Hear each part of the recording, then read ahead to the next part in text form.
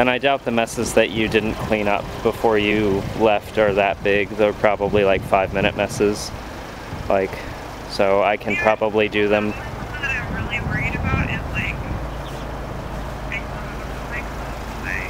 Oh,